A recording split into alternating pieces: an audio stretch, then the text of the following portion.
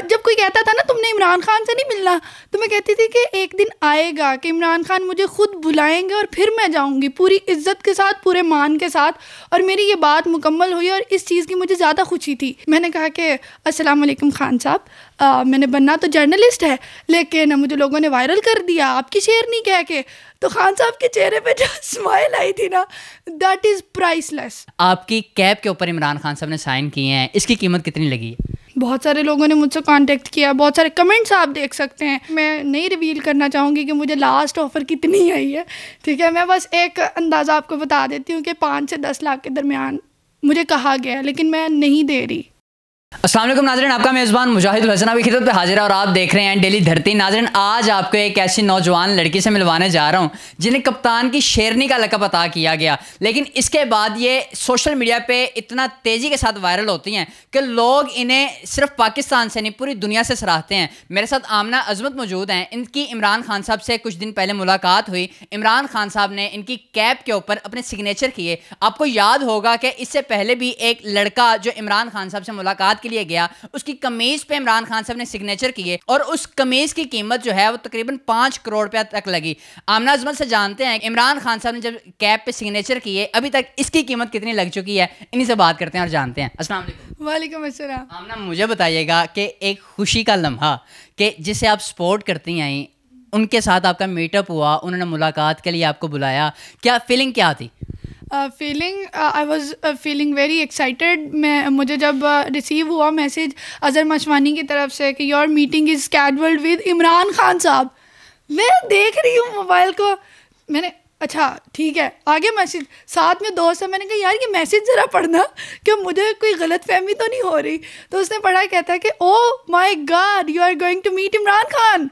तो आ, मेरी यही थी कि ओ ठीक हो गया गुड हो गया मैंने तो मिलना था उनसे। क्योंकि मैंने आज तक किसी को भी ये नहीं कहा था कि मुझे इमरान खान से मिलवा दो। मैंने कभी किसी का तरला नहीं किया था डिस्पाइट कि मैंने उनके लिए बहुत ज़्यादा काम किया मैं सोशल मीडिया पे उनके लिए करती रही उनको सपोर्ट करती रही। लेकिन मैंने कभी नहीं कहा था किसी से कि मुझे खान साहब से मिलवाएँ, ठीक है? लेकिन यह है कि जब वो जब कोई कहता था ना, तुमने इमरान खान से नहीं मिलना? तो मैं कहती थी कि एक दिन आएगा कि इमरान खान मुझे खुद बुलाएँगे और फिर मैं जाऊँगी पूरी इज़्ज़त के साथ, पूरे मान के साथ और मेरी ये बात मुकम्मल हुई और इस चीज़ की मुझे ज़्यादा खुशी थी कि मैं किसी को तरले करके कोई रास्ता ढूंढ के नहीं गई, बल्कि मुझे बुलाया गया। मुझे बताइएगा कि आपको कप्तान की जब शेरनी का लक अता किया गया, आप कप्तान को इतनी देर से जो है वो सपोर्ट कर रही थी, उनके हक में वीडियोस करती थी। आपने मुखालिफ पार्टी को भी देखा कि उनका कहना था कि कप्तान जो है इमरान खान साहब जब उनके पास जाया जाता तो वो किसी को चाय का प्याला भी नहीं पूछते। क्या समझती हैं? यार देखो, एक लेजेंड एक हीरो मतलब उनको पॉलिटिक पॉलिटिशियन ना भी मानो फॉर एग्जांपल एक साइड पर करते हैं एज अ क्रिकेटर उनकी कितनी वर्थ है पूरी दुनिया में, जिस बंदे की शादी पर आई है खुद एलिजबेथ जिससे मिलने के लिए बाकी पॉलिटिकल लीडर तलवे चाटते फिर रहे होते हैं। उस बंदे से मैं चाय पीने की गर्ज से जाऊँगी क्या? नहीं, मुझे नंबर वन तो वो मेरे लिए हीरो हैं, और मुझे तो यही बहुत खुशी है कि मैं उनसे मिल के आ गई हूँ। भाई, चाय का क्या है? चाय तो बंदा नुक्कर से कहीं से पी लेता खुद मुझे बताइएगा खान साहब ने जो व्लॉगर्स के साथ और यूट्यूबर के साथ जो मीटिंग की है इसमें मुलाकात के दरमियान जो बातचीत हुई है वो बातचीत क्या थी? अच्छा डिफरेंट सवाल थे और भी यूट्यूबर्स गए हुए थे और वहाँ पे अब मज़े की बात ये थी कि जब मेरी बारी आई ना तो मुसरत आपा ने कहा कि मुसरत जमशेद आपा ने उन्होंने बोला कि आमना अब आप सवाल करो ना क्योंकि मैं उनसे कह रही थी मे, मेरी भी बात करो मैंने सवाल करना मैंने सवाल करना मेरे अंदर का जो जर्नलिस्ट है वो कीड़ा ज़रा बाहर आ रहा था। तो अब मज़े मज़े की जो चीज़ हुई ना वो ये थी। मैंने कहा कि अस्सलाम वालेकुम खान साहब मैंने बनना तो जर्नलिस्ट है लेकिन मुझे लोगों ने वायरल कर दिया आपकी शेर नहीं कह के।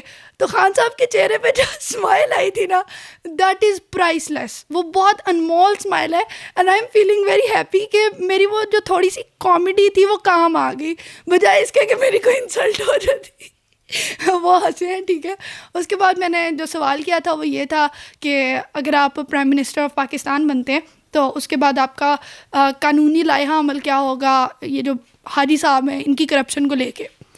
तो फिर उन्होंने इसका जवाब भी दिया था।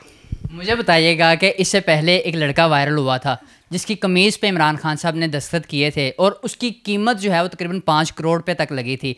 आपकी कैब के ऊपर इमरान खान साहब ने साइन किए हैं इसकी कीमत कितनी लगी? है अच्छा नंबर वन तो मैं ये बेचूँगी नहीं। बहुत सारे लोगों ने मुझसे कांटेक्ट किया, बहुत सारे कमेंट्स आप देख सकते हैं। मतलब एक स्टूडेंट है तो वो रिक्वेस्ट कर रहा है कि मैं बहुत बहुत गरीब हूँ, लेकिन फिर भी मैं आपको इस कैब का एक लाख दे सकता हूँ। मतलब एक ऐसा पर्सन जिसके पास पैसे नहीं है, वो भी चाहता है कि वो ये कैब ख़रीदे, ठीक है? इसी तरह और भी ऑफ़र्स हुई हैं जो कि मैं नहीं रिवील करना चाहूँगी कि मुझे लास्ट ऑफ़र कितनी आई है, ठीक है? मैं बस एक अंदाज़ा आपको बता देती हूँ कि पाँच से दस लाख के दरमियान मुझे कहा गया लेकिन मैं नहीं दे रही। तो मुझे बताइएगा मैं तो दोस्त हूँ। मुझे तो ये फ्री में मिल सकती है। और यार मेरे मेरे से ना मेरे बच्चों की खुशियाँ ना छीनो तुम। बच्चा जब होंगे तो तब की बात है। नहीं देखो मैं मैं ये बेचूँगी नहीं मैं ये किसी को दूँगी नहीं। मेरी अम्मा भी मुझसे ये मांगे तो शायद मैं ना दूँ ठीक है? ये मैं नहीं दूँगी मैं इसको फ्रेम करवाऊँगी और फिर मैं अपने बच्चों को कल को दिखाऊँगी कि ये देखो I met a great leader Imran Khan और ये उनके साइन है। तो तुम्हारी अम्मा जो है ना, वो बहुत कुछ कर चुकी है। मुझे बताइएगा, खान साहब से मुलाकात भी होगी सिग्नेचर भी होगे। दोस्तों का और रिश्तेदारों का क्या रवैया है? जब उन्हें पता लगा कि आमना अजमत हमारी दोस्त, हमारी रिश्तेदार, हमारी कोलीग खान साहब से मुलाकात हो गई सिग्नेचर भी हो गए, क्या रवैया क्या था?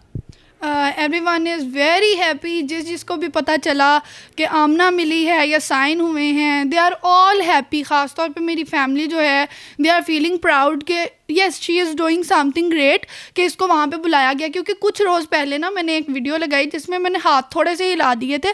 अब टिकटॉक बनाते हुए कुछ तो करना है ना। मतलब मैं कौन सा वहाँ पे ठुमके लगा रही हूँ, लेकिन कुछ तो करना है ना। मतलब वो एक एक्ट था कि उसमें हाथ ज़रा ज़्यादा हिल रहे थे। तो मेरे कज़न ने मेरे भैया को रोका चौक में और गाँव है ना वो तो रोका और कहा कि ये देखो तुम्हारी बहन की वीडियो ये डांस कर रही है। अब वो डांस कहीं से नहीं था। खुदा की कसम, में आपको वो वीडियो दे दो ना चलाने के लिए तो आपने भी हंस हंस के मर जाना है। वो डांस बिल्कुल नहीं था। लेकिन उसे वो दिया गया, वो था ना, क्या कहते हैं, कुछ भी इस तरह से। लेकिन जब मैं खान से अब मिली हूँ ना तो मैंने अपने भैया को कहा, मैंने कहा, भैया, ये उस लड़के को ये वीडियो ज़रा फॉरवर्ड कर दो।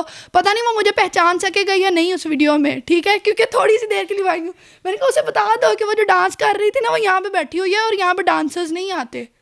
ठीक है? आखिर में नौजवान नस्ल को क्या पैगाम देना चाहती हैं? जो इमरान खान साहब से मुलाकात करना चाहते हैं, लेकिन नहीं कर पाते। देखें जी, एक लीडर जो होता है या जिसके हम फ़ैन होते हैं, ज़रूरी नहीं है कि हम उनसे मिलें। ख्वाहिश सबकी होती है कि हम उनसे मिल सकें। जैसे पहले कुछ शख्सियात वायरल हुई थी कुछ चीज़ों की बुनियाद पे तो लोग उनसे मिलना चाह रहे थे। मेरे तरले किए जाते थे कि हमें मिलवा दो प्लीज़ हमें मिलवा दो। लेकिन मैं आगे से एक ही रिस्पॉन्स करती थी कि भाई, वो बंदा नहीं अलाउ करता कि मिलूँ। और जो भी शख्सियत होती है, वो आपको नहीं मिल सकती, वो इतना टाइम नहीं दे सकती। अगर खान साहब भी हैं तो वो चीदा चीदा लोगों से मिले और अभी भी बहुत ज़्यादा लोगों से वो मिल रहे हैं। हती कि उनका मिशन उनका काम कुछ और है, वो अपनी एनर्जीज़ उस चीज़ पे लगाएँ तो वो ज़्यादा बेहतर है ना, जो वो क्रिएटिविटी कर रहे हैं, जो आपकी पर्सनैलिटी वो कर रही है, वो उस पर अपनी एनर्जी लगाए तो वो ज़्यादा बेहतर है, बजाय आपको मिलने से। आप उसके लिए दुआ करें और मैं यही दुआ कर सकती हूँ कि अल्लाह ताला आपको भी मिलवाए खान साहब से। नाजरन, आपने देखा, आमना अजमत मेरे साथ मौजूद थी। बाबू बुल्ले शाह साहब का एक शेर मुझे याद आ गया कि चिट्टी चादर ला दे कुड़िए, लै फकीर दी लोई। इस लोई ते दाग हज़ारा, पर उस लोई ते दाग ना कोई। इमरान खान साहब से जब इनकी मुलाकात होती है, इमरान खान साहब से मीटअप होता है, बातचीत क्या होती है? इमरान खान साहब ने जो इनकी कैब के ऊपर सिग्नेचर किए ये सिग्नेचर किस तरह हुए? और अभी तक इसकी कितनी कीमत लग चुकी है? आमना अजमत को कप्तान की शेरनी का लकब क्यों अता किया गया? आपने तमाम तर मालूम जानी। इसी के साथ अपने मेज़बान मुजाहिद हसन को इजाज़त दीजिए और देखते रहिए डेली धरती।